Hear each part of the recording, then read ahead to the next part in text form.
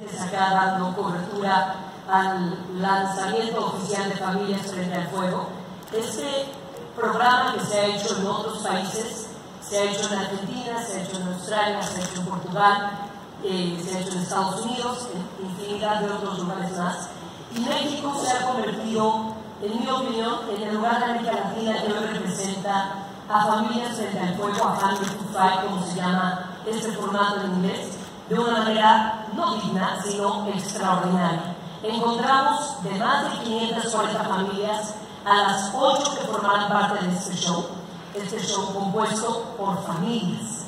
Vemos un show muy divertido, muy bonito, donde el hilo conductor termina siendo eso, el papá o la mamá o los hermanos o las tías o el compadre o el mejor amigo, y lo hacemos a través de seis, seis episodios muy bien contados, episodios de larga duración, que es algo que no se hace actualmente en formatos de, de esta índole, y encontrarán de todo.